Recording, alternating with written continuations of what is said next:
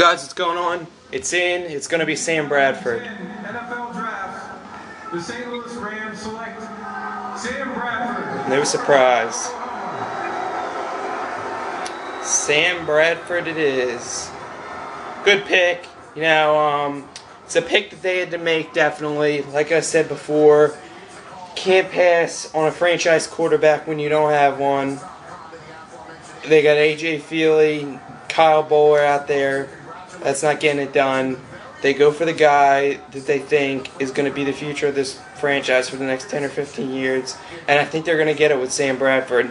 Um, you know, he's a he's an accurate quarterback. Uh, I've been watching him most of his career. Um, he started since a freshman, I believe. Um, he's had some big games, some big bowl games.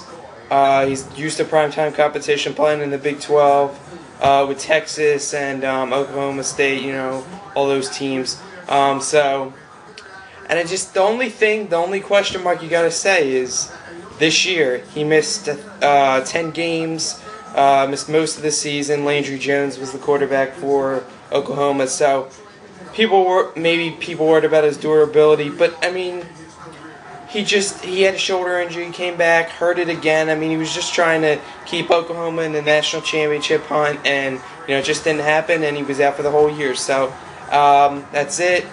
Sam Bradford's getting his uh, up there with the commissioner now. He is the pick for the St. Louis Rams.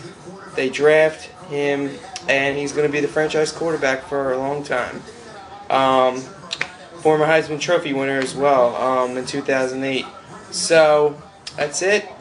The the first pick is officially done. Sam Bradford. Number two, the Detroit Lions are now on the clock, and um, we'll see what they do. Um, I'll be back with a video when uh, they make their selection. Peace.